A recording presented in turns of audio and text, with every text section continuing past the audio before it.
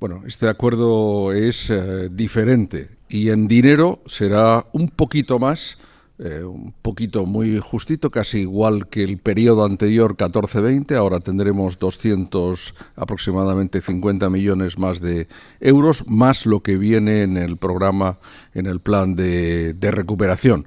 De todas formas, lo, importante es que efectivamente las reglas son, son nuevas y, esto interesa sin duda a los agricultores y a los ganaderos, pero también nos interesa a todos los ciudadanos porque es bueno recordar para todos los oyentes que todos los días cualquier español o cualquier española tiene 30 cents, o sea, 0,3 euros eh, de, digamos, de subvención indirecta por, por la política agrícola común que hemos conseguido efectivamente y que perciben agricultores y ganaderos. ¿Por qué será diferente? Porque tendremos que hacer un plan estratégico nacional de España, cosa que a mí como ministro me parece muy interesante para que podamos definir quién necesita las ayudas y de qué modo y cómo hacemos todo ese trabajo. Y en segundo lugar, porque tiene una orientación verde, el Pacto Verde de la Unión Europea, lograr una economía libre de carbono para el año 2050, eh, preservar el medio ambiente y luchar contra el cambio climático. Y yo creo que la clave, si tuviera que resumirla en una idea del acuerdo, y por eso lo califiqué de muy buen acuerdo